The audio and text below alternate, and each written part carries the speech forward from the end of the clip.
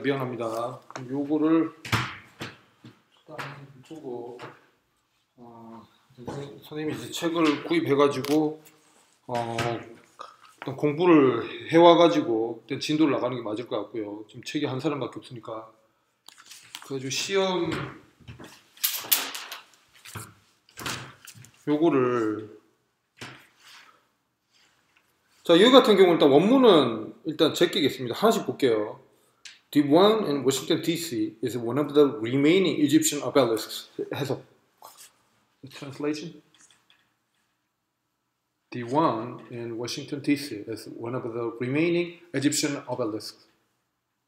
워싱턴 DC에 있는 오벨리스크는 이집트 이집트에 남아 있는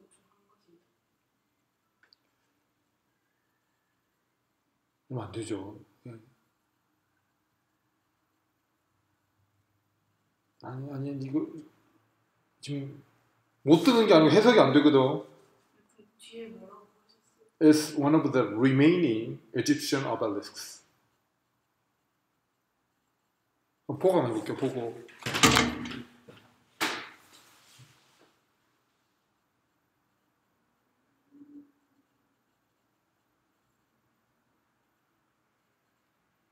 워싱턴 DC에 있는 것은 이집트의 오벨리스크 남아 있는 이집트 오벨리스크 중 하나입니다. 자, 이게 무슨 말입니까? 근데 이게 true예요, false예요? 일단 그거부터 한번 해볼게요.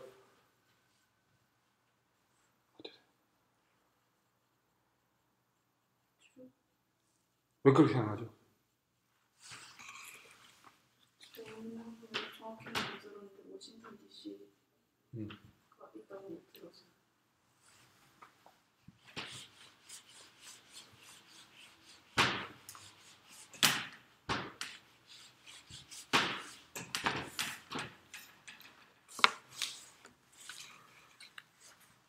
자, 지금 우리가 listening 문제가 아니라는 건 확인할 수가 있습니다. 이래죠. listening이 되고 안 되고 문제는 아니에요. 어. 아니,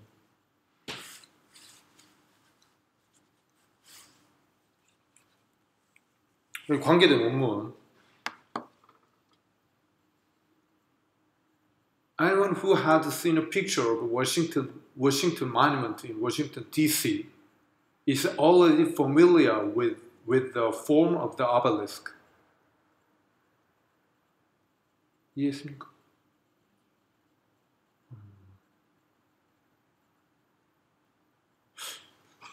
저 가지고 해볼까? 뭐, 가, 중학교 졸업했죠. 어, 우리 에어릴 군이. 뭐 어려운가?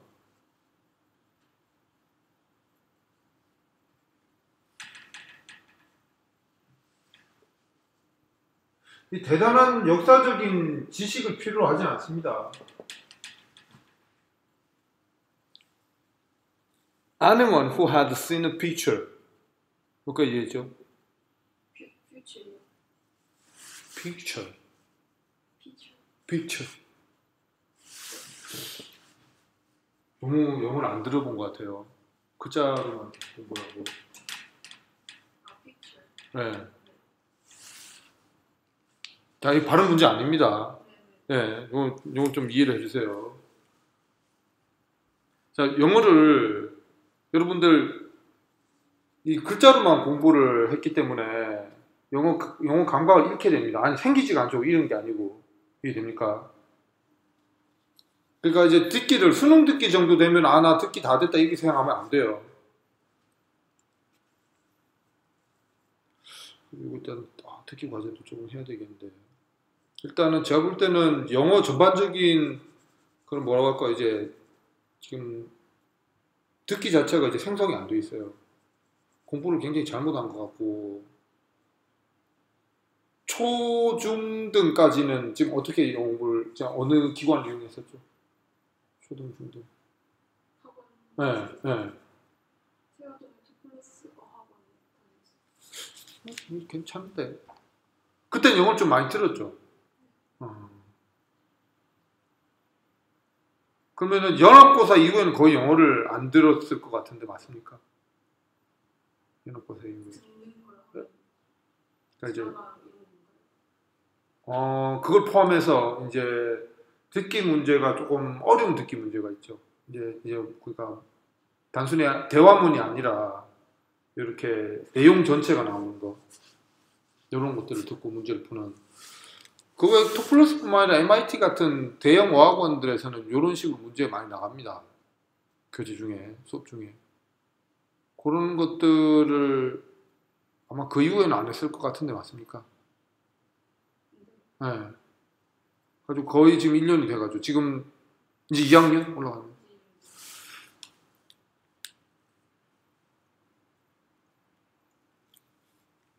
음.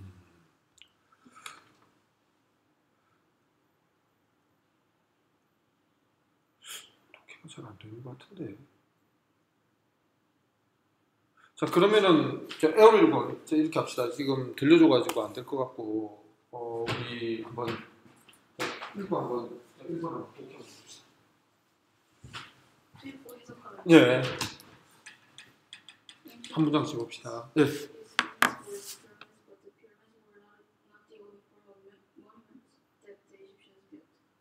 고대 이집트는 이집트의 피라미드로 유명하지만 그 피라미드는 이집트가 이집트인들이 건설한 형태죠. 네, 단어는 대충 모르는 거 그냥 대충 떼고 넘어가세요. 문장 구조를 이제 해석하는 게 중요하기 때문에 단어 모르는 건 괜찮습니다. 계속 주문제 네, 계속 좀 계속 네, 빠르게 해봅니다.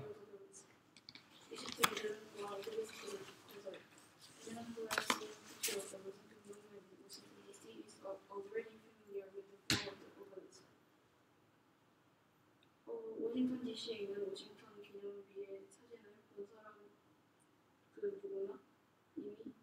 오벨리스크의 형태와 친근해. This tall thin monument stands straight up. 오케이 거기까지. 그 부분에서 그 familiar 나오죠. familiar 어, with familiar with 나왔는데 지금 그 문장을 보고 아 익숙하다. 워싱턴 DC에 있는 게, 아, 익숙하다, 뭐, 친근하다, 그 상관없습니다. 그게 틀렸다는 게 아니고, 그, 그런 거 가지고 따지면 안 돼요. 네, 그 that's not important. 그 문장을 가지고 워싱, 워싱턴 DC에 있는 게, 이집, 이집트 오벨리스크의 한 종류라고 할 수 있습니까? 근데 왜 그렇게 돼버렸죠?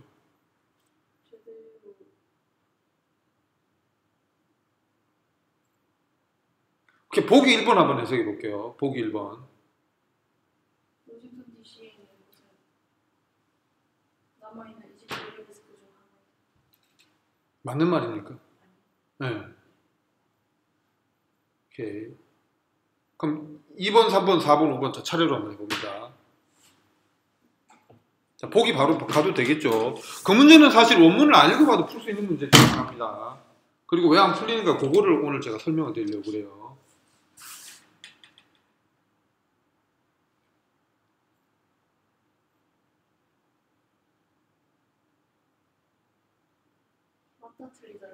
네, 그렇게 한번 2번, 3번, 4번, 2번가 한번 읽고 해석해주고 어, 맞는지 틀린지 한번 이제 판단해보고 그가 왜 맞고 틀린지 그걸 한번 얘기를 해봅니다. 이 답이 다 쓰여 있어가지고 좀 효과가 없긴 합니다만은 네, 한번 계속해 보세요.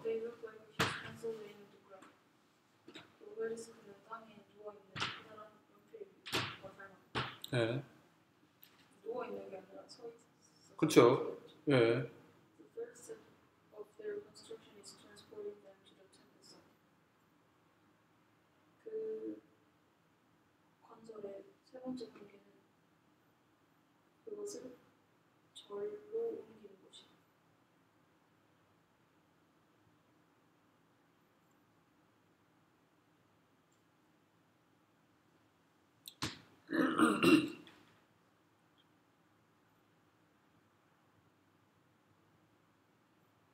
원문 참고해도 됩니다.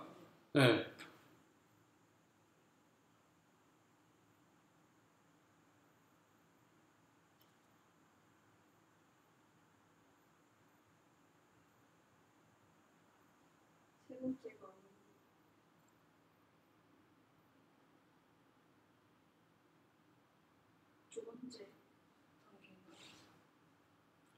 아니죠.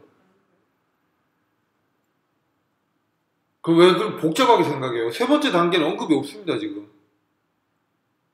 예. 나와 있지 않은 거를 추론할 필요는 없죠.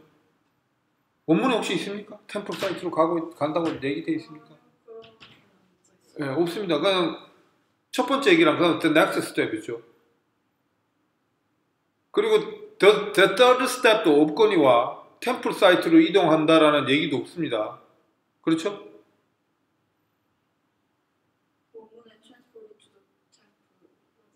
음, 요건 나와 있습니까? 잠시만요.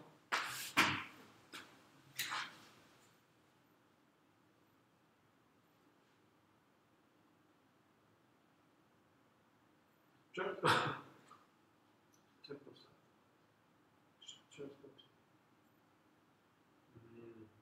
요건 있긴 있네요.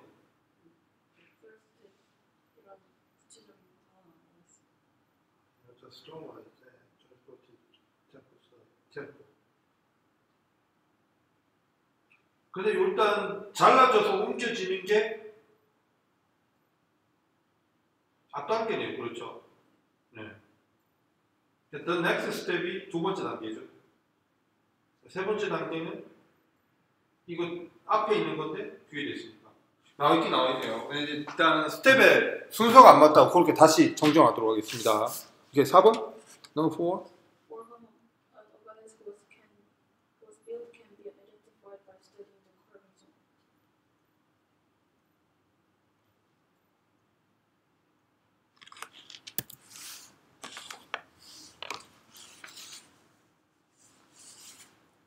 오물품을 어떻게 해석할지 아 오벨리스크가 지어낸 목적 네, 그래가지고 계속 그 오벨리스크에 새겨진 것을 연구함으로써 확인됩니다. 확인되었습니다. 그렇죠. 맞습니까? 틀립니까?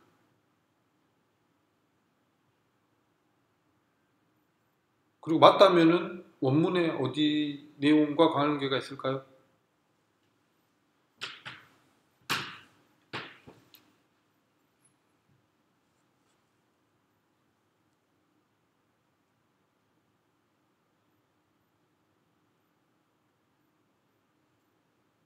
어, 맞는 것 같은데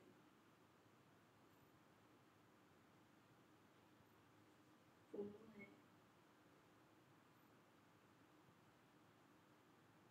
오벨리스크의 상징을 새겨준다고 나와 있고 그 그렇죠. Good, that's good. Number five. lifting them up right must have been the most difficult task of all. 그것을 들어올리는 것은 가장 어려운 일. 아주 어려운 일이었다.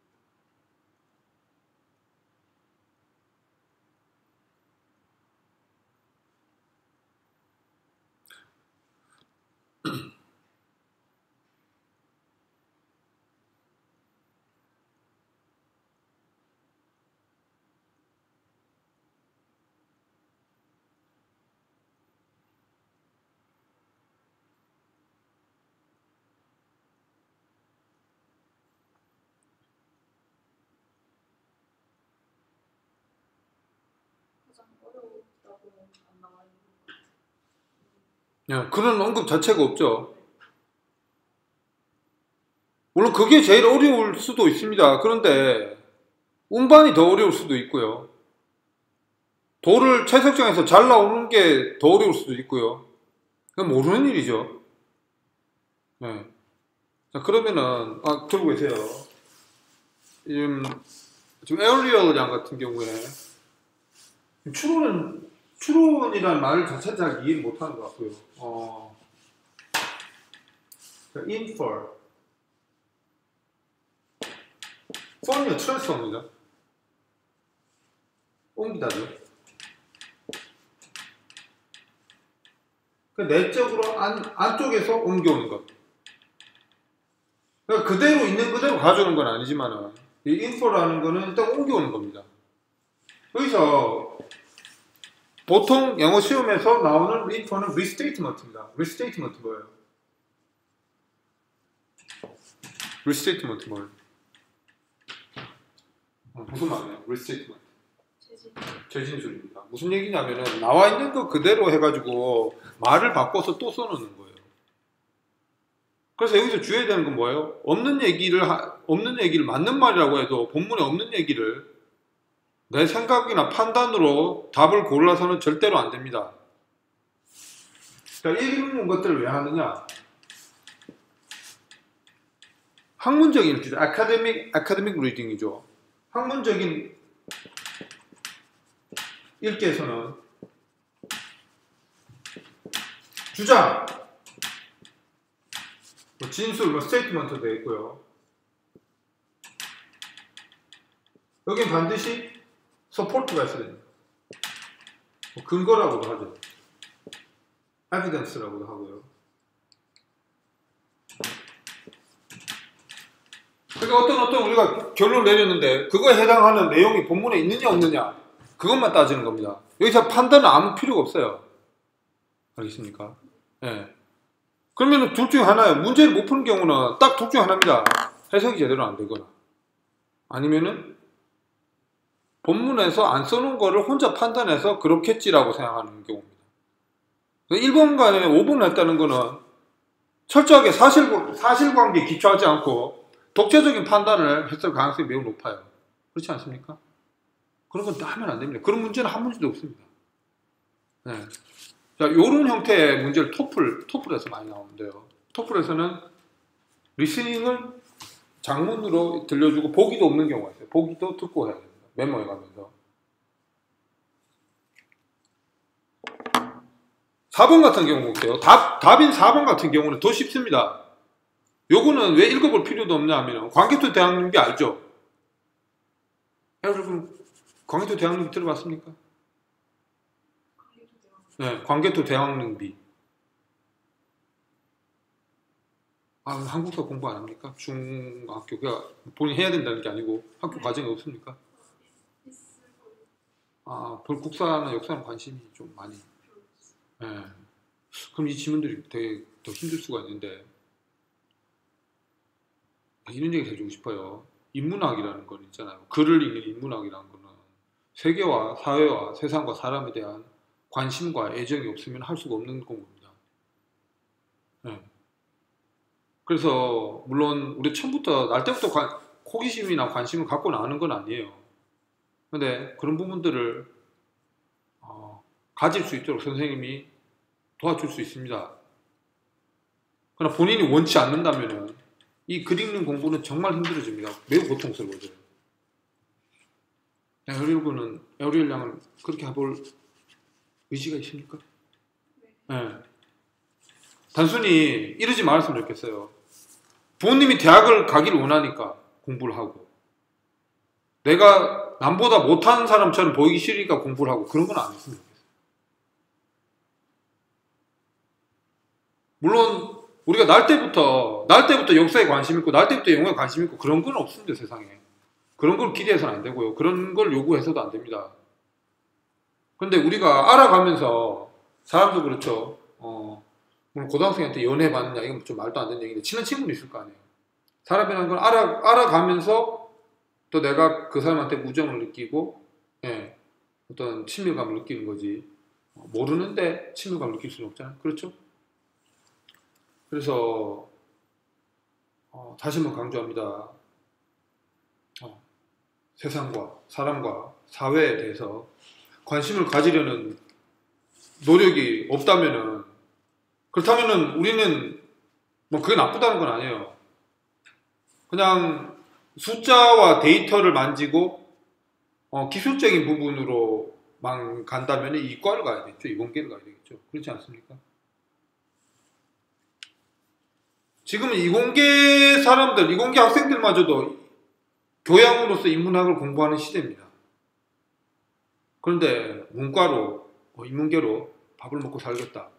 그러면은 그 사람들보다 훨씬 더 높은 수준의 교양과 문화와 그런 세상에 대한 이해가 있어야 되겠죠. 그렇지 않습니까? 예. 그런 것들을 바탕으로 하고 있다면 이 내용들을 정말 재밌게 공부할 수 있는 부분들입니다. 항상 이런 생각도 들어요. 관심도가 없기 때문에 이 글이 잘 안 읽히는 건 아닐까? 문제가 안 풀리는 건 아닐까? 그러니까 관심 없으니까 너 그만둬! 그런 건 아닙니다. 선생님이 흥미를 가질 수 있게끔 많은 배경 지식을 전달하고 또 영어로 된 자료를 전달을 하겠습니다. 아, 그렇게 해서 어, 재밌게 공부를 할 수 있도록 선생님 최대한 여건 조성을 할 테니까 어, 에어리얼 양은 따라올 자신이 있습니까?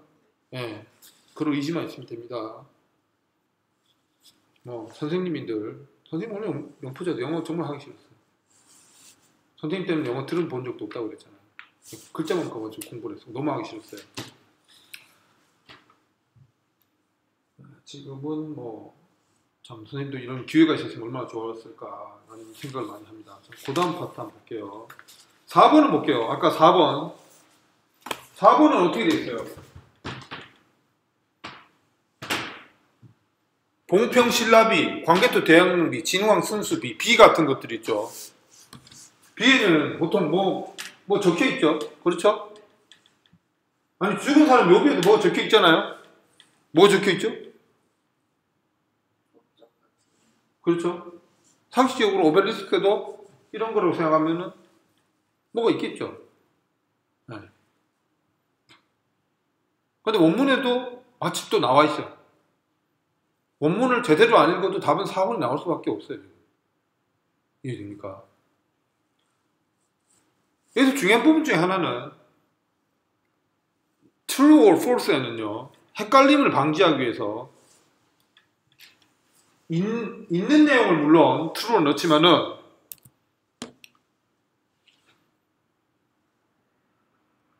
실제로 맞는 내용을 넣어놓습니다. 그러니까 false에는요, false, false에는요, 역사적으로 그러면 실제 사실이지 않은 내용을 false에 넣지는 않습니다. 이해됩니까?